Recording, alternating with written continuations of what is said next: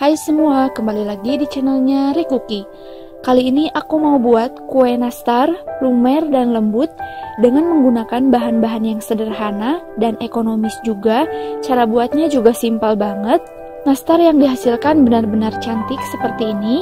So, buat teman-teman yang udah penasaran cara bikinnya gimana dan bahannya apa aja, yuk langsung aja tonton videonya dari awal sampai akhir. Step pertama, haluskan mentega sebanyak 175 gram.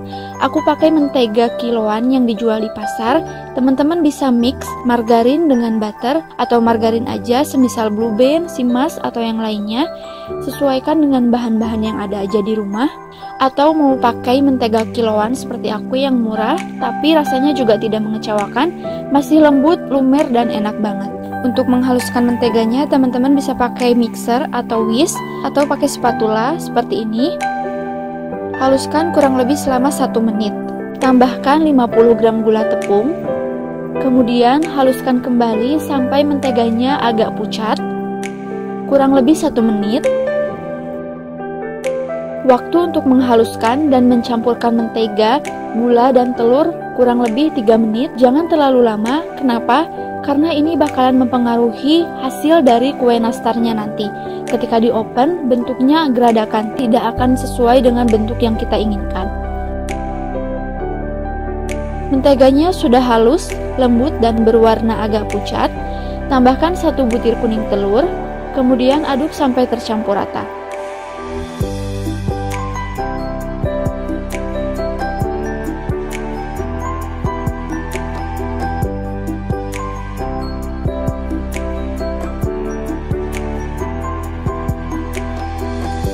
Ini sudah tercampur, tambahkan 250 gram tepung terigu. Aku pakai tepung terigu kiloan yang dijual di warung. Tambahkan sedikit demi sedikit. Lalu tambahkan juga 50 gram maizena. Teman-teman bisa pakai tepung terigu pro rendah atau pro sedang, sesuaikan dengan bahan-bahan yang ada aja atau mau seperti aku pakai tepung terigu kiloan, ini juga masih tetap enak. Kemudian aduk menggunakan spatula asal saja sampai tercampur.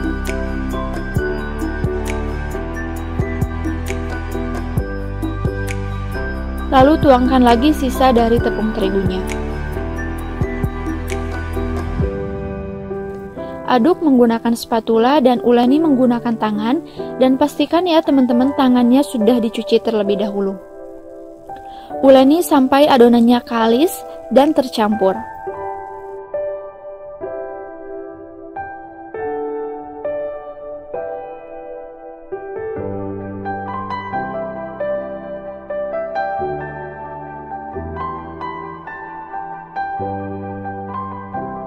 Adonannya sudah jadi, kemudian aku akan isi dengan selai nanas. Aku beli di pasar seharga 7000 dengan isi 250 gram. Bulatkan seperti ini. Langsung aja aku akan cetak nastarnya. Ambil adonan secukupnya.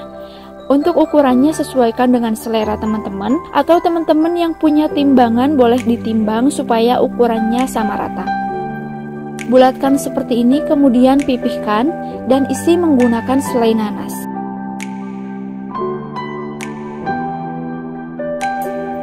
Lalu bulatkan kembali. Nah, setelah seperti ini, kemudian pipihkan menggunakan jari, jangan terlalu ditekan, asal saja. Lalu rapikan sudut-sudutnya.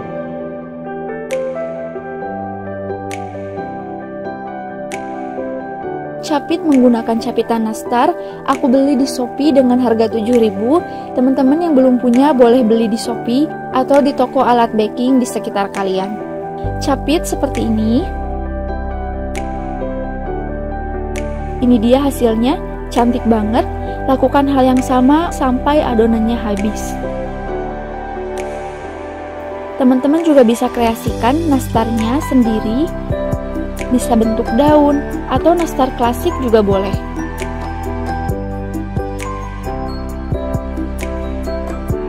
Satu resep ini bisa menghasilkan dua toples kecil Setelah selesai, lalu panggang di suhu 160 derajat Celcius selama 30 menit dan panaskan ovennya terlebih dahulu. Atau buat teman-teman yang mau pakai oven tangkring ini juga bisa. Panaskan terlebih dahulu ovennya menggunakan api besar, kemudian setelah ovennya panas, kecilkan apinya sampai api sedang, lalu panggang selama 25 menit.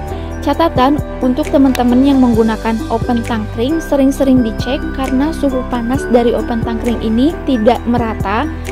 Yang sering aku alami, kadang kuenya sudah matang sebagian, jadi sering-sering dicek setelah 30 menit nastarnya sudah matang, aku akan diamkan sampai nastarnya benar-benar dingin. Setelah benar-benar dingin, lalu aku akan olesi menggunakan 2 butir kuning telur yang sudah aku campur dengan 1 sendok makan minyak goreng dan pewarna kuning. Untuk pewarnanya ini opsional bisa pakai atau tidak juga nggak apa-apa. Olesi semua nastarnya.